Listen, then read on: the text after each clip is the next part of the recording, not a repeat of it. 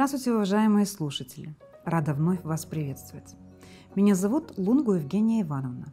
Я преподаю математику в образовательном комплексе Кирилл и Мефодий.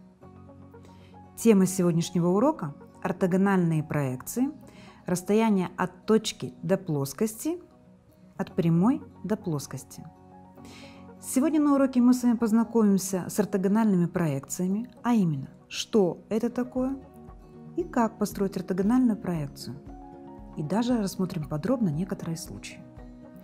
И также посмотрим, как можно измерять расстояние между основными геометрическими объектами в пространстве. Опять-таки напомню, основными геометрическими объектами являются точка, прямая и плоскость. Так вот, сегодня мы посмотрим, как можно измерить расстояние между точкой и прямой в пространстве, точкой и плоскостью, прямой и плоскостью. Итак, начнем с определения. Ортогональная проекция точки М на плоскость называется точка М1, полученная в результате пересечения данной плоскости и прямой, проходящей через точку М перпендикулярно этой плоскости. Рассмотрим чертеж. Есть плоскость альфа, точка М, не принадлежащая этой плоскости. И опустим из точки М перпендикуляр на плоскости альфа. Проведем перпендикулярную прямую получим точку М1. ММ1 пересекает плоскость альфа, точка М1 у нас принадлежит и плоскости альфа, и данной прямой. М1 является проекцией точки М на плоскость альфа. Обращаю ваше внимание на запись. Результатом проекции является что? Точка М1. Вот мы и пишем М1 равно и даем такую расшифровку. Что мы проектировали? Точку М. На что мы проектировали? На плоскость альфа. Вот на что мы проектируем, мы указываем в виде индекса внизу. PR, соответственно, означает проекция. Мы с вами знаем, что любая геометрическая фигура – это есть множество точек. А как спроектировать точку на плоскость, мы тоже уже знаем. Дадим следующее определение. Ортогональная проекция геометрической фигуры на плоскость называется множество ортогональных проекций всех точек данной фигуры на эту плоскость. Рассмотрим пример. Дана фигура f, в данном случае я взяла произвольный многоугольник, и для того, чтобы ее спроектировать на плоскость альфа, мы берем из каждой вершины, опускаем перпендикуляры на эту плоскость. Соединив основания перпендикуляров, мы с вами получаем проекцию. И говорим, что f1 является проекцией фигуры f на плоскость альфа. Если вместо многоугольника у нас будет какая-то кривая линия, да, то мы с вами можем выбрать несколько точек на этой линии, столько, сколько нам будет достаточно, и также спроектировать их на плоскость. Рассмотрим с вами, что будет являться ортогональной проекцией отрезка на плоскость. Для этого рассмотрим три случая – Первый случай, когда отрезок АБ параллелен плоскости альфа. Рисунок. Опускаем из точки А и из точки Б перпендикуляры на плоскость альфа, то есть строим проекцию отрезка АБ. Соединяем основания, получаем отрезок А1-Б1. То есть А1-Б1 является проекцией отрезка АБ на плоскость альфа. Легко можно доказать, что четырехугольник АБ, Б1, А1 является прямоугольником. Делаем вывод что проекция отрезка АБ в этом случае будет конгруентна самому отрезку. Второй случай, когда отрезок АБ не параллелен плоскости альфа и не пересекает ее, является как бы наклонным по отношению к плоскости. Также строим проекцию этого отрезка, получаем А1Б1 отрезок, который является проекцией АБ на плоскость альфа.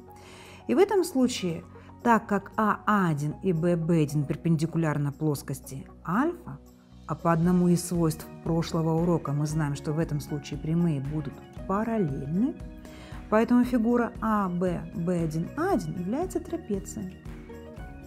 В этом случае мы замечаем, что длина самого отрезка АБ будет больше, чем длина его проекции на плоскость.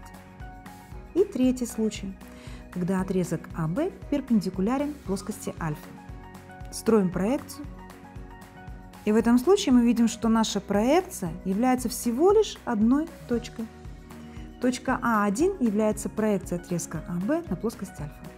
Таким образом, делаем вывод, что проекцией, ортогональной проекцией отрезка на плоскость является либо отрезок, либо точка. Рассмотрим такие же случаи в отношении прямой. Первый случай, когда прямая А не перпендикулярна плоскости альфа. Выбираем любые две точки, опускаем перпендикуляры и получаем прямую. А почему мы выбрали только две точки? Дело в том, что две точки однозначно определяют положение прямой в пространстве. Поэтому ни много ни мало, а две точки как раз таки достаточно для того, чтобы мы построили с вами однозначно прямую. Итак, в нашем случае прямая b будет являться проекцией прямой А на плоскость альфа. То есть как результат проекции мы получили тоже прямую. Второй случай, когда прямая А перпендикулярна плоскости альфа. Ну, в данном случае мы опять-таки получаем точку. То есть точка А является проекцией прямой А на плоскость альфа. Итак, ортогональной проекцией прямой на плоскость является либо прямая, либо точка. Сейчас, когда мы с вами уже рассмотрели ортогональные проекции, перейдем ко второй части нашего урока, а именно к определению расстояний. Определение. Расстоянием от точки до плоскости называется длина перпендикуляра, опущенного из этой точки на плоскость. Длина плоскости альфа и точка М, не принадлежащая ей. Для того, чтобы определить расстояние от точки М до плоскости, мы из точки опускаем перпендикуляр на плоскость альфа.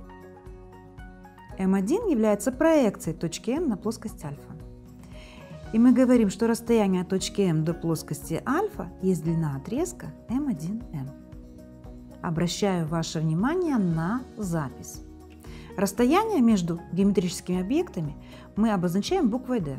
Иногда можно встретить и букву H. И в скобках обязательно указываем, между какими объектами мы измеряем расстояние. В данном случае это точка М и плоскость альфа. Расстояние между прямой и параллельной ей плоскостью называется расстояние от произвольной точки прямой до этой плоскости. Обращаю ваше внимание на то, что расстояние между прямой и плоскостью определяется только в том случае, если эти объекты параллельны, то есть прямая параллельна плоскости. В других случаях определение не имеет смысла. Итак, как найти расстояние между прямой и параллельной ей плоскостью? Прямая А, плоскость альфа, они параллельны. Мы выбираем произвольным образом точку М на прямой А, опускаем из нее перпендикуляр на плоскость альфа. Опять-таки точка М1 является проекцией точки М на плоскость альфа. И длина этого перпендикуляра, то есть длина отрезка М, М1, и будет являться расстоянием от прямой А до плоскости альфа. Рассмотрим еще одно определение расстояние между скрещивающимися прямыми. Расстояние между скрещивающимися прямыми называется расстояние между одной из скрещивающихся прямых и плоскостью, проходящей через другую прямую параллельно первой. Рассмотрим на рисунке. Есть две скрещивающиеся прямые. Мы с вами знаем, что через любую точку пространства можно провести прямую, параллельную данной. А значит, выбирая произвольным образом точку на прямой B, мы с вами построим прямую, параллельную прямой А. И таким образом у нас получились две пересекающиеся прямые, через которые мы также знаем, что можем провести плоскость, и при том эта плоскость будет единственная. Итак, у нас прямая B лежит в плоскости альфа, которую мы только что построили, и эта плоскость будет параллельна прямой А. Почему? По признаку параллельности прямой и плоскости. Напомню вам, если прямая параллельна какой-либо прямой на плоскости, то прямая и плоскость параллельны. Таким образом, опускаем опять перпендикуляр да, из точки на прямой. М1 является проекцией точки М на плоскость, и длина этого перпендикуляра, длина отрезка ММ1 и будет являться расстоянием между прямой А и плоскостью альфа. Обозначаем D расстояние от А до Б равно M, M1. Рассмотрим задачу. Прямая CD перпендикулярна плоскости остроугольного треугольника ABC. СК – его высота.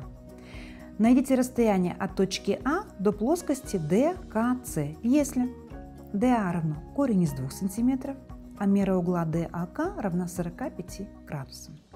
Построим чертеж. Ребята, хочу обратить ваше внимание на следующую вещь. А, в задаче указано остроугольный треугольник ABC. К сожалению, часто вы такие слова игнорируете, но это очень важно.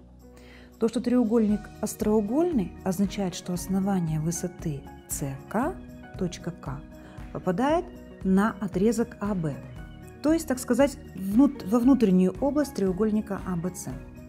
Мы сами знаем, что если треугольник тупоугольный, то высота может попадать на продолжение стороны. Здесь же у нас высота находится внутри треугольника, поэтому это важно. Если бы не было бы этого слова, нам пришлось бы рассмотреть два случая. Итак, так как у нас DC перпендикулярна плоскости ABC, опять-таки, согласно определению, это означает, что DC перпендикулярна любой прямой в плоскости, в том числе и прямой AB, мы получаем, что АБ перпендикулярна DC. Кроме того, помним, что СК является высотой, а значит АБ перпендикулярна СК. И получаем, что прямая АБ перпендикулярна двум пересекающимся прямым на плоскости. Значит, она перпендикулярна и всей плоскости. То есть АБ перпендикулярна ДКС, а значит расстояние от точки А до плоскости ДКС это и есть длина отрезка АК когда мы разобрались, где расстояние, как его можно легко его найти. Из треугольника DAK. Ну, вы можете использовать либо то, что треугольник DAK является прямоугольным равнобедренным, напомню, там угол 45 градусов, либо в данном случае я использовала определение косинуса острого угла. АК равно ДА умножить на косинус 45 градусов. И получаем ответ 1 сантиметр. Рассмотрим еще одну задачу. Расстояние точки М до каждой из вершин правильного треугольника ABC а равно 4 см. Найдите расстояние точки М до плоскости ABC, а если AB а равно 6 см. Выполняем чертеж. Треугольник ABC, он правильный, или как мы еще говорим, равносторонний. И точка М равна удалена от вершины этого треугольника. То есть МА равно МБ равно МС и равно 4 сантиметрам. Раз речь идет о расстоянии, нам нужно найти расстояние точки М до плоскости треугольника, то опускаем из точки М перпендикуляр на плоскость треугольника. Строим перпендикуляр МО. И как раз таки это, этот отрезок, длина той перпендикуляра и будет тем самым расстоянием, которое нам нужно найти. То есть нам необходимо найти МО. С этой целью рассмотрим треугольники МОА, МОБ и МОЦ. Так как МО является перпендикуляром к плоскости, а значит МО перпендикулярно любой прямой на этой плоскости, то треугольники МОА, МОБ и МОЦ являются прямоугольными. Причем у них есть общий катет МО и МА, МБ, МЦ равны по условию, конгруентны. Таким образом, мы заключаем, что данные треугольники будут конгруентны по одному из признаков конгруентности прямоугольного треугольника. Но раз треугольники конгруентны, у них конгруентны остальные стороны и углы. Нам нужны стороны ОА, ОБ и ОС. Они будут конгруентны. И таким образом у нас получается, что точка О равно удалена от всех вершин треугольника. Раз ОА равно ОБ и равно ОС, значит О есть не что иное, как центр описанной окружности. А значит ОА является радиусом описанной окружности. А формулу для вычисления радиуса описанной окружности около правильного треугольника мы с вами знаем. А корней из трех делить на 3. Вычисляем этот радиус, длину отрезка ОА. Мы знаем с вами ОА мы знаем с вами МА. И из треугольника МОА находим необходимую длину МО. Сегодня мы с вами познакомились с ортогональными проекциями, рассмотрели, как их можно построить, ортогональные проекции, точки, прямой, отрезка, и рассмотрели разного рода расстояния в пространстве. расстояние от точки до плоскости и расстояние от прямой до плоскости. Наш сегодняшний урок подошел к концу. Я вам желаю всего доброго. До свидания. До новых встреч. thank you